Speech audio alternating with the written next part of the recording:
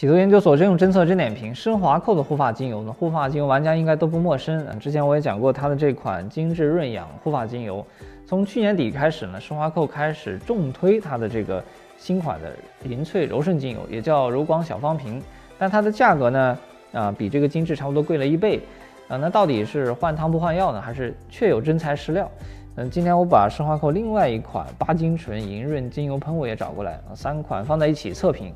啊，这三款你用过哪个吗？可以在公屏上回应一下。先来对比一下这两个啊，柔光小方瓶呢，它的宣传中是说加了十四种植物精油，这个精致润养呢是说加了八种植物精油啊，但是这些都是排在后面的辅料啊，有几种并不重要。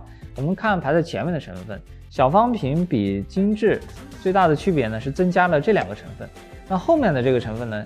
在护发精油里面还是比较少见的。这两个成分组合在一起呢，就是它宣传的这个 Satin Black 技术啊。这个是国际原料巨头陶氏在推的一种原料，它的全称呢是这个啊。据说能够赋予产品如丝绸缎面般的感觉啊，让发丝顺滑的同时啊不扁塌。先在手背上对比一下，小方瓶的清爽度略高于精致。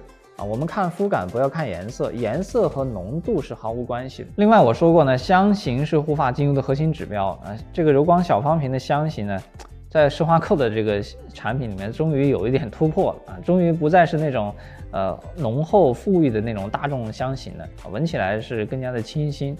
呃，我们再来说一下这款八精醇莹润精油喷雾，这个的主成分呢是异十二烷，是一种轻盈的挥发性油脂。啊，所以从成分上说呢，它其实跟前面这两个是完全不同的产品。我不用它的喷雾嘴啊，自己用吸管吸出等量的精油，咱们对比一下它和小方瓶。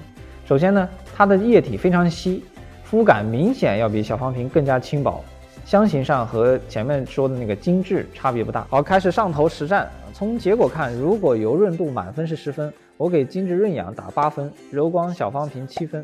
巴金醇喷雾五分，所以巴金醇喷雾呢，它只适合这个发丝不怎么毛躁的或者护发精油的入门玩家用啊。对于重度玩家啊或者发尾毛躁的，拿出来真正能解决问题的，那就是小方瓶和精致。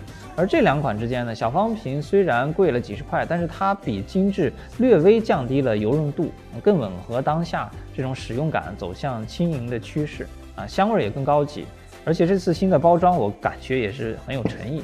啊所以这两者之间呢，我是更推荐柔光小方瓶。别忘了给强哥来个三连。